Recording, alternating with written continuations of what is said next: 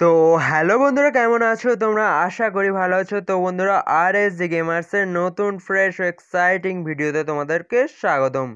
তো বন্ধুরা, আজ আমি যেটা নিয়ে কথা বলব, সেটা থাম্বেল ও টাইটেল দেখে নিশ্চয়ই তোমরা বুঝতে পেরেছ। আর তোমাদের কাছে সরি চেয়ে নেব, কারণ ভিডিওটা দেরি করে আনার জন্য আমি আসলে এই বিষয়ে কোনো ভিডিওই আনতাম না। বাট আমি দেখলাম বেশিরভাগ প্লেয়ার এ বিষয়ে জানলেও পুরোপুরিভাবে কিছু জানে না। তো আমার এই ভিডিওটা দেখলে আশা করি তোমরা এ টু জেড এ বিষয়ে তোমরা বুঝতে পারবে, ঠিক আছে? তো ভিডিওটা পুরো শেষ পর্যন্ত দেখার অনুরোধ রইল। আর এই ভিডিওতে যদি না লাইক করে থাকো, ইয়ার প্লিজ একটা লাইক করে দিও। আর চ্যানেল যদি নতুন হয়ে থাকো, তো free fire related event update ও নিউজ ভিডিও তোমরা এই চ্যানেলে পেতে থাকবে।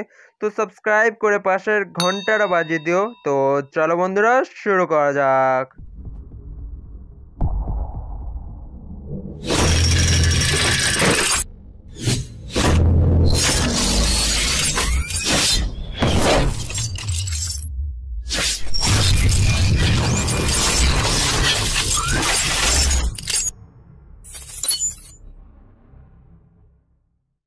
তো বন্ধুরা প্রথমে যেটা নিয়ে কথা বলব সেটা হলো এএফকে বিহেভিয়ার কি, ঠিক আছে?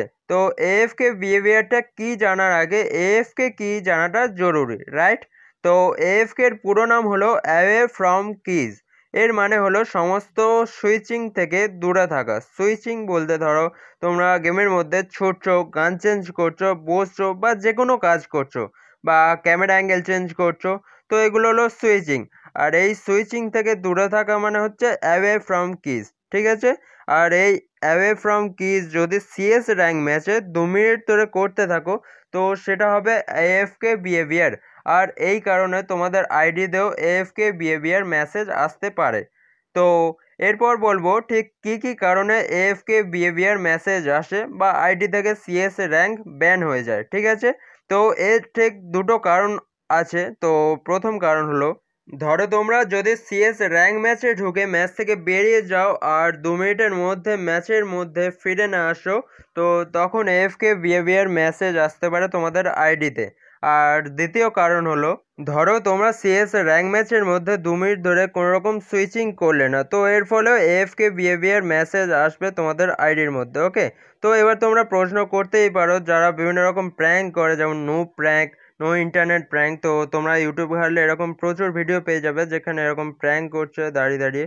তো এর ফলে কেন রিপোর্ট আসে না তাদের আইডিতে ওকে তো তারা কোনো এফকে বিহেভিয়ারই করছে না, কারণ তোমরা যদি একটু ভালো করে তাদের ভিডিও দেখো, তো তারা দেখবে সবসময় ক্যামেরা অ্যাঙ্গেল চেঞ্জ করছে, এপার ওপার দেখছে, করছে। তো এটা আমি বলে দিয়েছি, এটা সুইচিং হচ্ছে, তো এর ফলে কোনো এফকে বিহেভিয়ার তারা করছেই না, তো তাদের রিপোর্ট আসে না, ঠিক আছে? তো বন্ধুরা, এই দুটো কারণ, যে দুটো কারণ তোমাদের বললাম, তো এই দুটো কারণের মধ্যে যদি একটাও তোমরা করে ফেলো, তো গাইনা থেকে তোমাদের আইডিতে একটা এএফকে রিপোর্ট পড়বে। তো এইভাবে যখন দু তিনটে রিপোর্ট পড়বে, তো আইডিতে একটা মেসেজ আসবে, যেটা হচ্ছে এএফকে ওয়ার্নিং মেসেজ তো এইভাবে যখন মোট আটটা রিপোর্ট পড়বে, তো তোমাদের আরেকটা মেসেজ আসবে যেটাতে বলা থাকবে যে তোমাদের আইডি থেকে সিএস র্যাঙ্ক ব্যান হয়ে গেছে। তো বন্ধুরা, এবার তোমাদের বলব সিএস র্যাঙ্ক যদি তোমাদের আইডি থেকে ব্যান হয়ে যায়, তো সেটাকে আনব্যান কী করে করবে? ঠিক আছে? তো সেটাকে আনব্যান করার জন্য তোমাদেরকে ক্লাসিক র্যাঙ্ক বা ক্লাস কোর এগুলো তোমাদের খেলতে হবে যতদিন না আনব্যান হচ্ছে এবং এগুলোতে যেন এফকে বিহেভিয়ার রিপোর্ট না পড়ে, ঠিক আছে? তো এফকে বিহেভিয়ার রিপোর্ট যদি তোমাদের এগুলোতে না পড়ে, তো খুব তাড়াতাড়ি তোমাদের আইডি আনব্যান করে দেবে ফ্রি ফায়ার থেকে ওকে তো এইভাবে যদি তোমরা এইভাবে এফকে বিহেভিয়ার রিপোর্ট পড়তে থাকে এবং তোমাদের ক্লাস কোড র্যাঙ্ক ব্যান হতে থাকে, তো এইভাবে দু তিনবার যদি হয়, তো তোমাদের আইডি থেকে ক্লাস কোড র্যাঙ্ক একেবারের জন্য ব্যান হয়ে যাবে, ঠিক আছে? তো বন্ধুরা, আশা করি ক্লাস কোড র্যাঙ্কের পুরো বিষয়টা তোমাদের কাছে ক্লিয়ার করতে পেরেছে। তো একটা প্লিজ লাইক করে দিও, আর যদি বুঝতে কোথাও অসুবিধা হয়, তো অবশ্যই আমাকে কমেন্টে জানিও। আর চ্যানেল যদি নতুন হয়ে থাকো ফ্রি ফায়ার রিলেটেড সমস্ত প্রকার ইভেন্ট আপডেট ও এই ধরনের ভিডিও তোমরা এই চ্যানেলে পেয়ে যাবে।